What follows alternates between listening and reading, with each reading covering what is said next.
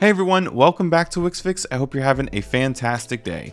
In today's video, I'm going to show you how you can show and hide certain elements on your repeater items from your collections. Let's say you have some items in your collection that you want to display some things in the repeater, but you don't want these elements to show on every item in the repeater.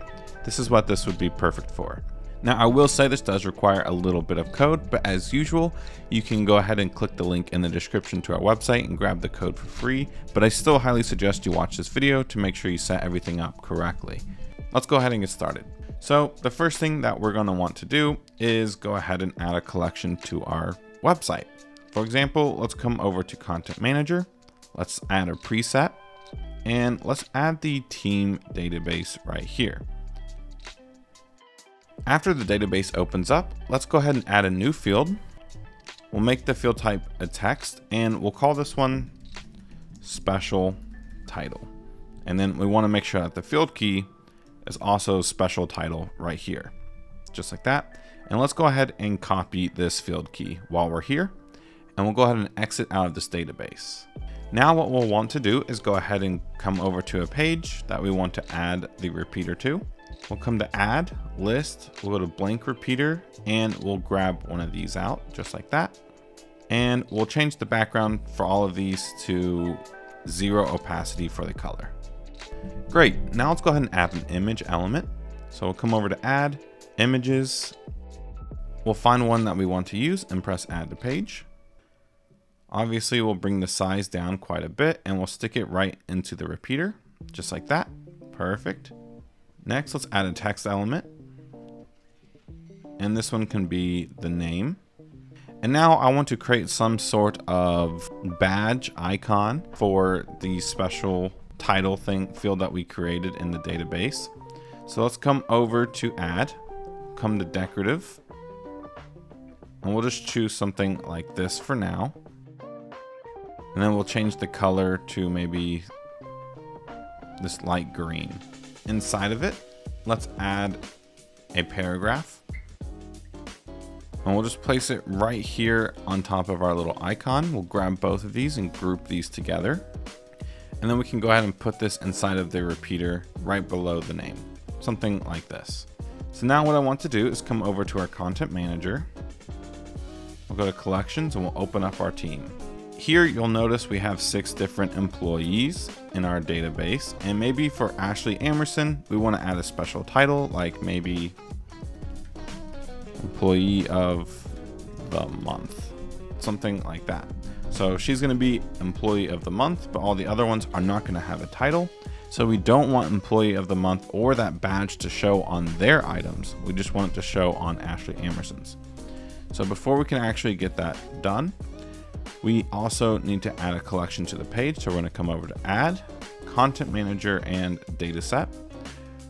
It's going to bring this little icon onto the page, but don't worry. Once you publish the website, this is not going to be visible for your users. It's simply just here in the editor so we can work on it. But we're going to go into the settings and we're going to make sure we choose the team database just like that.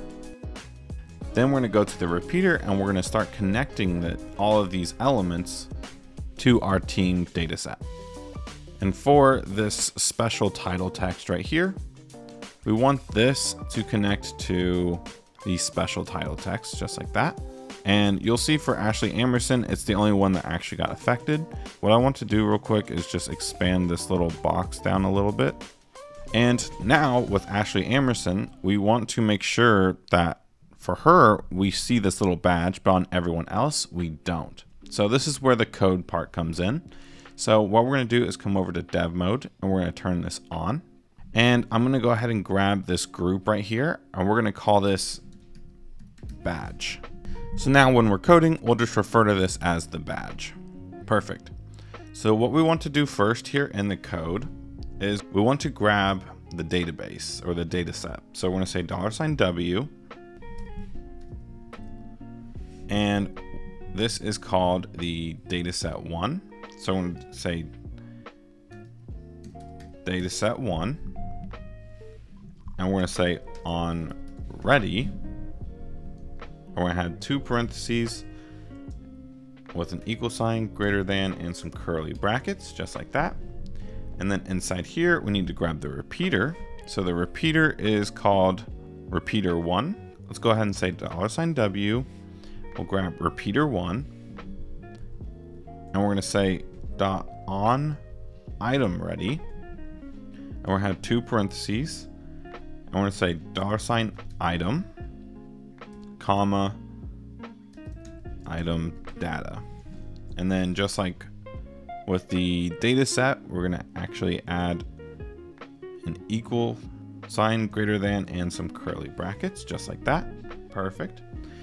And now let's go ahead and create a small variable. So what we're gonna do is say let s title equal item data dot and we need to put in the field key that we got so we'll just paste it in which was special title just like that and if you don't remember what your field key is you can easily come over to content manager go to collections open up your database then you can go over to the field that you're going to be using for the code you can just go to click on it press edit and then you'll see the field key right here so you can just copy it and then use it in the code just like we did right here.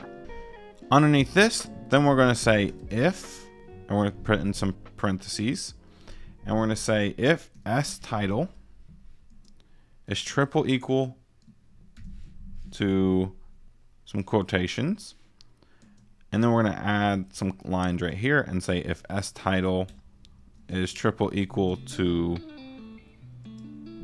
null, or if s title is triple equal to undefined.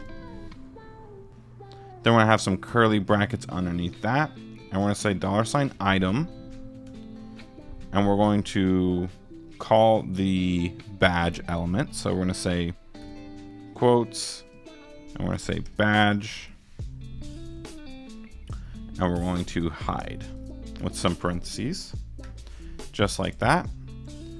And then underneath that, we're going to say else with some more curly brackets. And we're just going to paste in the same line, except we're going to change hide to show.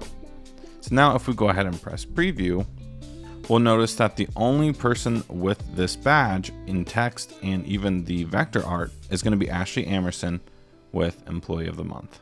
And the cool thing is, is you can actually use this even with a Boolean method in the database. So instead of saying if s title has content inside of it, then or if the s title does not have content inside of it, then hide it. What you can do is say if the s title field is false, then you hide it, otherwise show it. So you can do stuff like that here as well. But that's basically gonna wrap it up for today's video. If you all did enjoy, please consider giving this video a like and consider subscribing for more Wix content coming out really soon.